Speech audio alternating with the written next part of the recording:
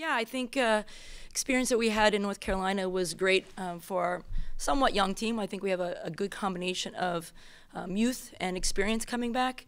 Um, I think anytime you get a result at Carolina, um, it's a very hard place to play that uh, that gives you some confidence. Um, I think the challenge for us was to obviously bounce back and play against the number four team at Duke uh, in that way, and I thought we showed at times that we could do that.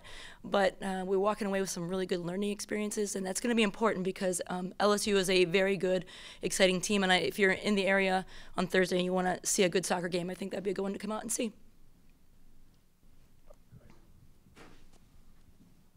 Yeah, Paula, you mentioned the learning experiences. What did you learn maybe about your personnel? I know it's just two matches, but about your personnel from those two. Um, I think the biggest thing is uh, their willingness and their ability to defend and together collectively as a group. We talked about that, you know, soccer games are moments. And I think in that Carolina game, uh, that they were on every moment and I think that makes the difference between winning and losing. And, and obviously, Carolina is a very good team, and you have to not take a second off. And they showed that they can do that. So we talked about after the game that that was the standard that we needed to bring. Um, and then I think in the Duke game, we, we saw the moments kind of come out. And as a coach, you look at that and say, you know, you're playing two top 10 teams back to back in 90 degree temperature um, and with a lot of youth on the field. So for me, you know, I think we, we can look at that Duke game and say, okay, now these are the moments we have to be better in. Um, so I'm excited about where we're at. Um, I think we're not even close to the finished product. I think we're going to do way better on the offensive side once we get our feet underneath us a bit, but our team has been proven that they can defend.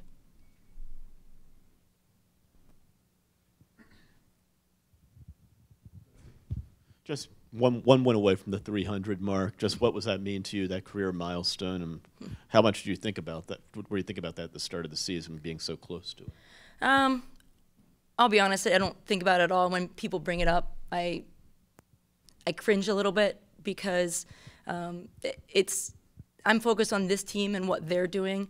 Um, and I always say that the 300 wins are a reflection of all the players I've had over my career. It's, it's not me. Um, my famous saying that I say to most of my players is, I'll never score a goal, I'll never make a save here. Um, I just put them in the position to do that. So um, for me, uh, it's a monkey that I don't like that's on my back and everyone keeps talking about. Um, because, again, I just want them to get better from game to game to game. And um, I want this season to be good. And I think we have a very good squad that can do that. And so I'm completely focused on that. You, you mentioned earlier about how long you've been in the Big Ten three decades now. It's obviously seen a lot of changes, and there's going to be more changes coming up. With what are your just your general reactions, thoughts on how this league is growing and, and other leagues are growing as well in terms of what it does for the Olympic sports, like like your sport in particular? Well, for us, we're adding two teams. Um, from the Pac-12 that have won national championships in the, in the last couple years, and obviously Washington and Oregon um, have have been very successful as well. So I look at it. Um, I know some coaches, uh, I've heard some comments from some ACC coaches that they they don't want people to come in. I actually like it because it makes us better. Um, one of the reasons why we played the games we did this weekend was to see what we do well and what we need to get better at, and those games expose that um, and allows us to get better. And I think that you know, bringing those teams in from the Pac 12 will only make us better as a conference because the more your team is in those games and they learn what the effort and what they need to do to be successful, it only grows the, the, the, conference. And so I'm excited about it. It's obviously a big challenge. You know, travel, and I think everyone that's already talked about is going to be a challenge. Um, but, uh, you know, those teams really allow us to, to raise the standard for the whole, the whole conference. Just in that regard, how much of a concern is the potential travel, and do you have any suggestions for how y'all can handle that in terms of kind of limiting the amount of times you have to go out to the West Coast, or West Coast teams have to go to the East Coast, or anything like that, while also having a feasible schedule? I don't think I get paid enough money to know how to figure that out. I think there's people who are smarter and brighter that are going to have to figure that out as we go along. I know one thing that I like, and it's probably not answering the question, but I like that I'm in the middle of the country. I'm not one way or the other. When I moved here, um, you know, I realized I'm not really ever on red eyes too often if red eyes are three hours. So um, I think the travel is going to be a little bit tough. I think there's some plans in the work to figure out how we divide that up a little bit. I think the teams that are more concerned are the coast teams.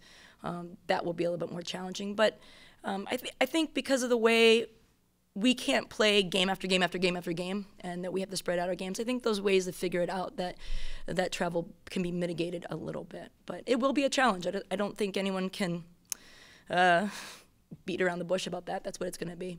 So. Anything else for Coach Wilkins? My biggest thing is come out if you want to see fun soccer and a team that's getting better, especially for the young girls out there after the World Cup. There's such a such a buzz about women's soccer and what they can do. If there's 98,000 people at a women's soccer game, you know, we can get a lot of people out to our game to see some fun players who will have pro, pro, pro careers moving forward. So if you want to see some of those players come out on Thursday.